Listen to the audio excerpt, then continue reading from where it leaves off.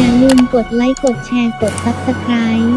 และกดกระดิ่งเพื่อแจ้งเตือนจะได้ไม่พลาดเรื่องราวสดใหม่จากห้องข่าวพีนิวจบแล้วจ้า แบมแบมจบการศึกษาหลังทำงานไปด้วยเรียนไปด้วย เป็นถึงไอดอลที่ไปทำงานเป็นศิลปินอยู่ที่ประเทศเกาหลีใต้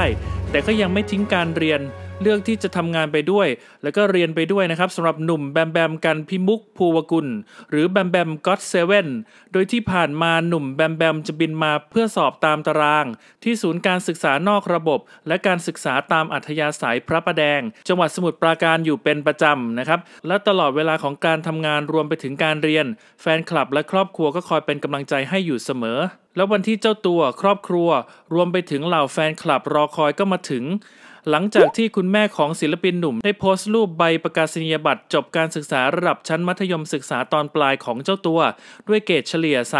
3.24 ที่ถึงแม้ว่าจะจบช้ากว่าเพื่อน แต่ก็จบในที่สุด ถึงงานจะหนักแค่ไหนแต่เจ้าตัวก็ไม่เคยทิ้งการเรียน ซึ่งแววมาว่าเจ้าตัวกำลังวางแผนการเรียนต่อ ระดับมหาวิทยาลัยด้วย ต้องบอกเลยว่านับถือใจหนุ่มแบมแบมจริง ๆ ถือเป็นอีกตัวอย่างหนึ่งที่ดีของเยาวชน ว่าสถานศึกษาไม่ใช่สิ่งที่สูงสุด ไม่ว่าจะเรียนที่ไหนก็สามารถสร้างความภูมิใจและก็เป็นคนดีได้ และเชื่อได้เลยว่าไม่มีใครแก่เกินเรียนแน่นอน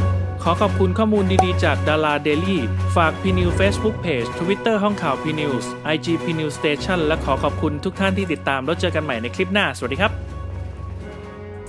สำหรับคุณผู้ชมที่รับชมห้องข่าว P News ทางมือถืออย่าลืมกด Subscribe ตรงนี้ด้วยนะคะ